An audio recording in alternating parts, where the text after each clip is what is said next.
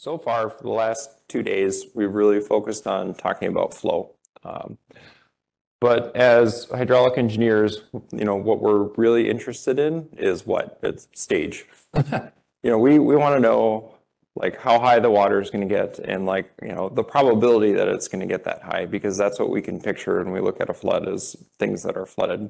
You know, you can't typically look at a river and be like, oh, it's definitely at 10,000 CFS now, but yesterday it was at 14,000 CFS. You know, you think of everything in terms of feet above some datum. So we're going to talk about transforming your flow data to stage data. So we'll talk about methods for transforming flow data to stage data for levees and also for dams because they differ a little bit. Uh, primarily in that for levees, we typically look at flow for the peak instantaneous condition because we want to look at what happens at that maximal peak flow if that would overtop the levee. You know, but for dams, they have storage upstream, so it usually takes a certain amount of time to fill them up. So we have to kind of consider a critical duration. Um, and in risk assessments, we use RMC RFA for dams. Uh, and for levees, we've got a variety of other different techniques that we'll talk about. So first, let's discuss using flow frequency to inform estimates of stage frequencies. So you know, why do we bother with the flow frequency analysis if we have observed stage data? Uh, well, that's because stage data, typically you can't fit a distribution to it um, because of the geometry of the site and other factors. You can't just take like, you know, 100 years of stage data and fit an LP3 distribution. You'll get a weird shape and you won't get an accurate estimate. Versus flows, which are generated from random stochastic processes in nature, we can fit a distribution to those. That's why we start by doing flow frequency analysis and then transfer into stage frequency analysis. So we'll discuss using stage discharge rating curves at gauges, um, using hydraulic models, looking at whether you have existing gauge rating curves, um, all to estimate the annual exceedance probability associated with a given elevation or stage. So this example shows a flow frequency curve in pink uh, based on 100 years of data. So this is the unregulated uh, peak flow frequency curve for a levee site or for a gauge. The curve on the right is the stage discharge rating curve uh, that ranges up to about 32 feet in a discharge of 400,000 CFS. Uh, and we're using that rating curve to translate the best estimate for the flow frequency curve from the flow frequency curve to the stage frequency curve. So for example, at the 0.5 AEP frequency, the flow is around 30,000 CFS. So the stage discharge rating curve, uh, 30,000 CFS corresponds to a stage of approximately 18 feet. So that value of 18 feet is then plotted at the same annual exceedance probability associated with that flow. So the 0.5 AEP. So we're assuming somewhat of a one-to-one -one relationship using the rating curve as a transform here.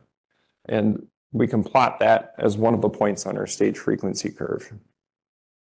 So we'll do this for a range of flows from the flow frequency curve until we end up with that blue curve, which is an estimate of how the annual exceedance probability associated with a given stage. Uh, just note that the stage frequency curve can't extend less frequently than the rating curve, which is just above a stage of 30 feet.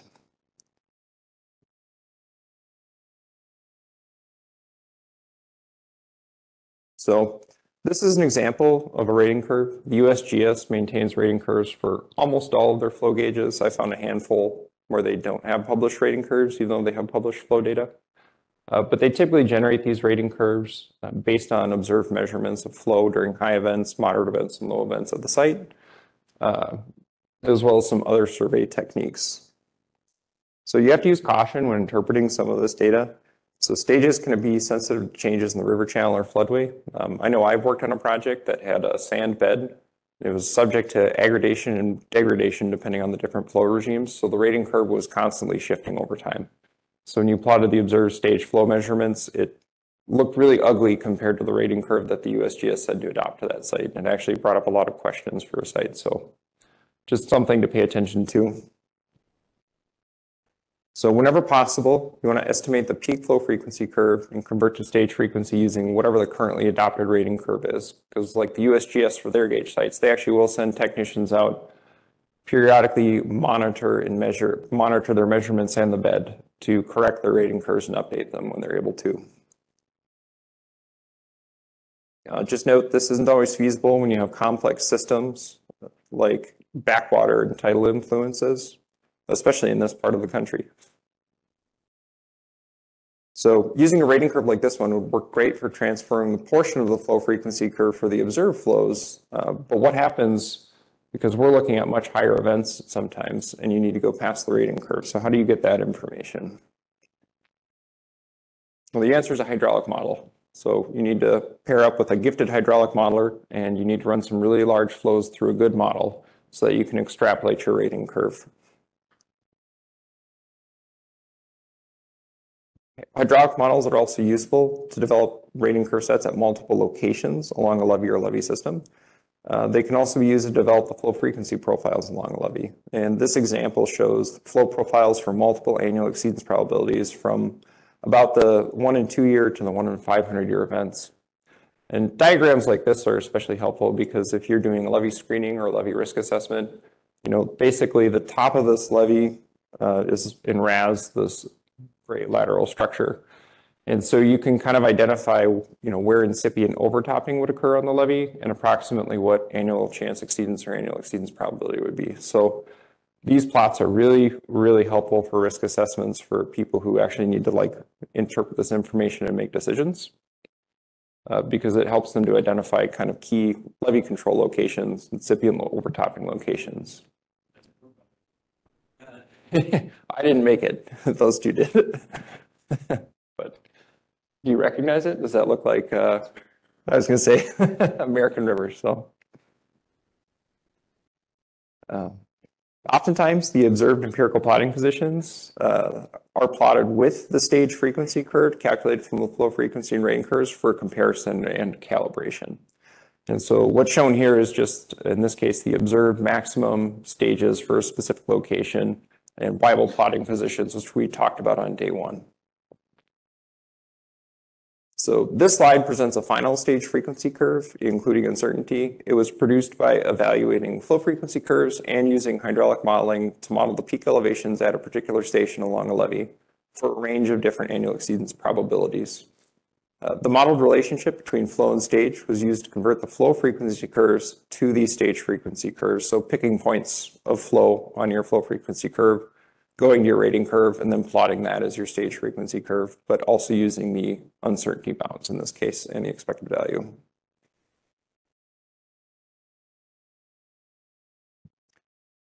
So we're going to talk for a moment about a new RMC software package that can be very helpful if you're doing a risk assessment for a levee or if you need to develop a stage frequency with uncertainty.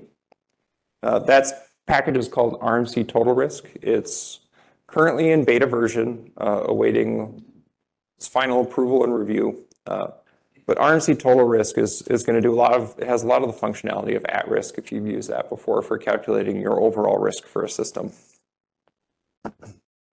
So total risk can perform uh, risk is, it can be used to estimate risk for dams or levees or complex systems. So you can look at multiple dams in series or parallel and estimate overall total risk.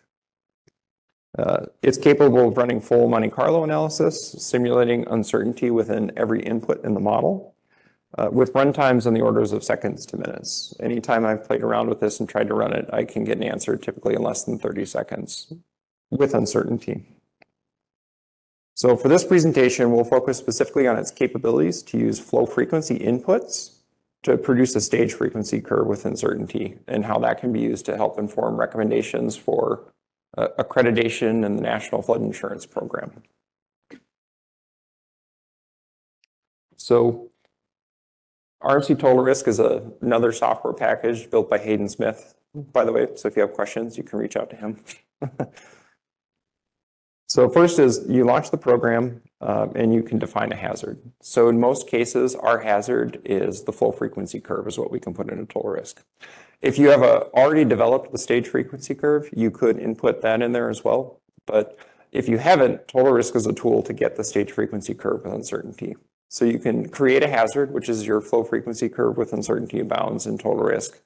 And then you can also add a transform. And RMC total risk has a number of different transform functions that you can put in there.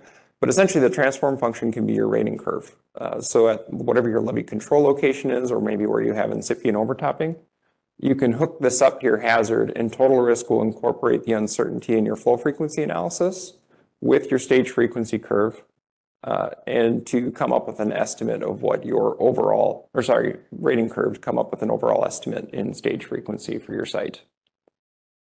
So this just summarizes a couple of different transform options that you have uh, and some guidance in EM 1110.2-1619 on how to incorporate uncertainty in your rating curve because we always plot the rating curves as one-to-one, but if you ever plot the measured data with it, you know that there's just a tremendous amount of uncertainty in those rating curves. And so total risk will allow you to, to incorporate the uncertainty from both of those sources into a final estimate of stage frequency.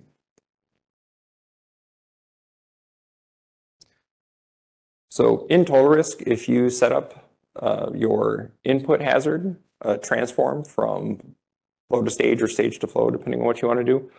Uh, all you need to do is add some dummy consequences. They don't have to be real. You can basically just put like zero to one in some kind of dollar amount or life loss estimate because it doesn't use it to come up with the stage frequency curve. It just needs it to run the analysis.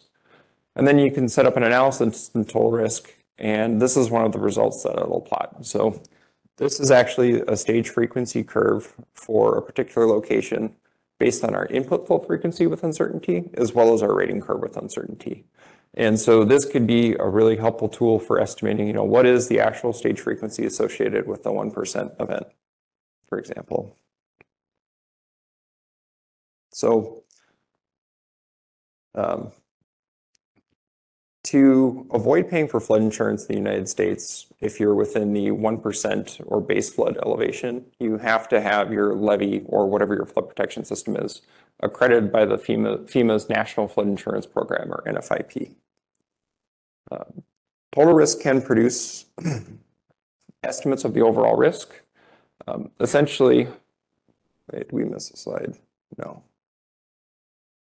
Yeah, so for accreditation purposes, um, we're currently following the guidance that if your overall risk is less than about e to the minus three, then we recommend you a credit and no assurance estimate is needed.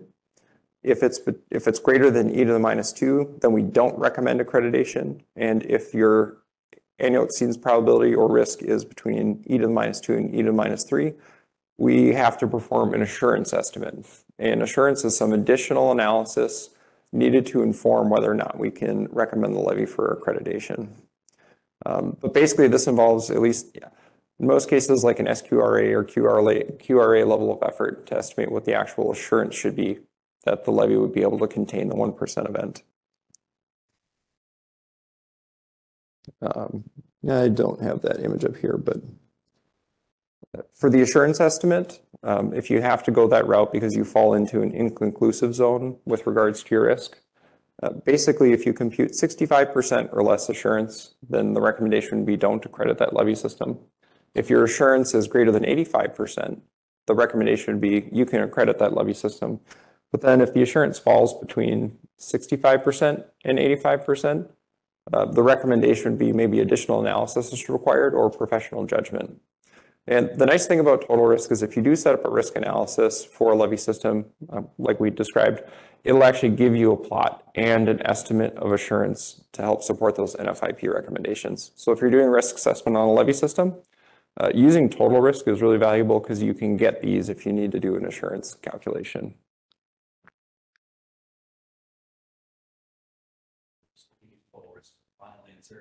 Yes. Yeah. Yeah. I think previously, I know you two know a lot more about at risk. Previously, you could get assurance estimates through at risk, couldn't you? What was that? Okay, yeah, Zach says you had to do a different method in at risk to kind of back out what the assurance estimate should be. But in total risk, it's a direct computation with a plot that says, okay, here you are.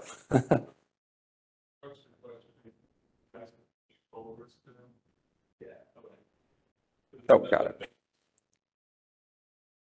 Yeah. I think the that's a good answer. So Derek had said we we can use total risk, but it's still in beta, so it, it hasn't been officially adopted.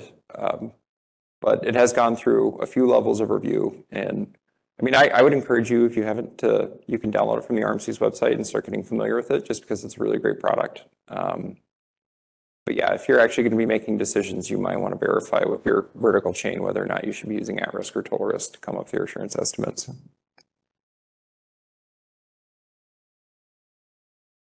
Uh, now we're going to talk about transferring flow to stage for dams.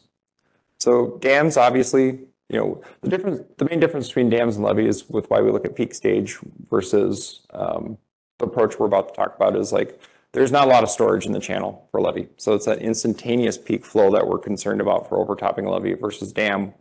We have a giant bathtub upstream that we need to fill up before, you know, we can actually get a stage.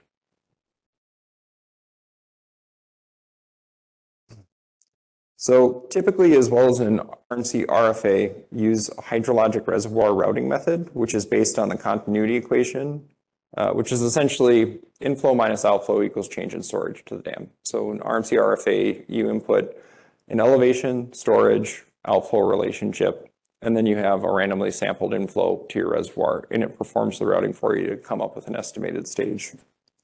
Uh, and this slide here just shows an example of the continuity equation, but this is all you need to know is this is the, the crux of what RFA is trying to do to come up with the stage. Just look at whatever inflow you have coming in, how much space that takes up, and then whatever your resulting stage is.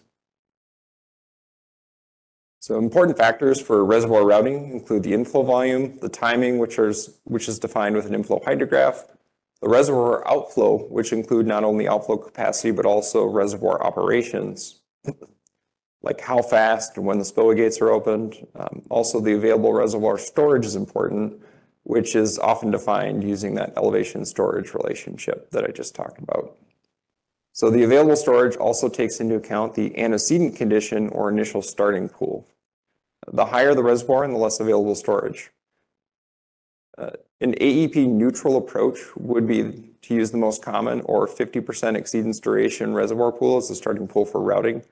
However, better techniques for choosing a starting pool and all the items discussed for reservoir routing will be discussed and seen in your next lectures. So like in RMC RFA, you know, it's randomly sampling a starting stage when it's doing its stochastic runs.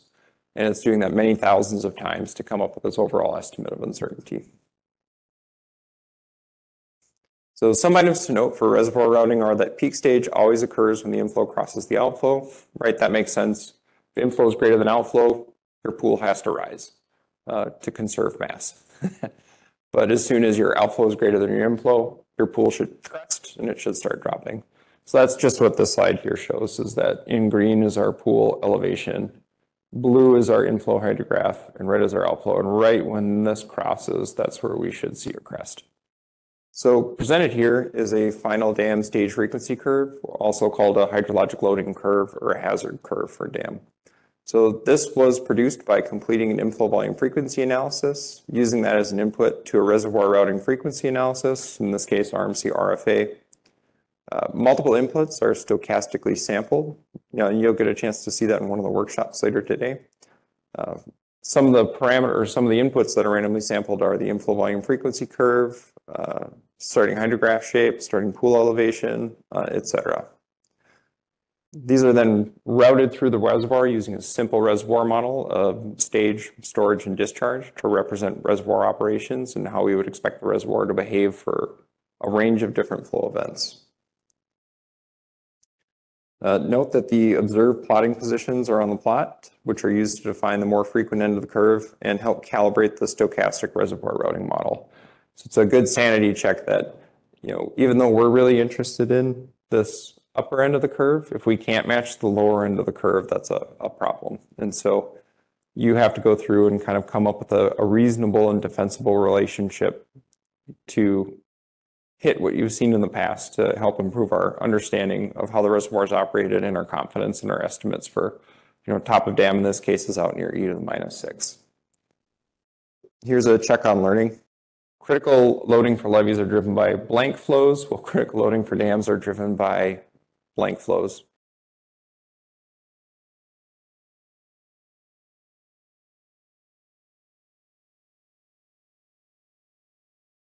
So just to recap, um, we discussed the whole point of this lecture was talking about for dams and levees, how do we transform flow stage, which we, how do we transform flow stage, or sorry, flow into stage um, that we actually use for some of our risk estimates and what we're ultimately interested in, which is the annual exceedance probability for a given stage.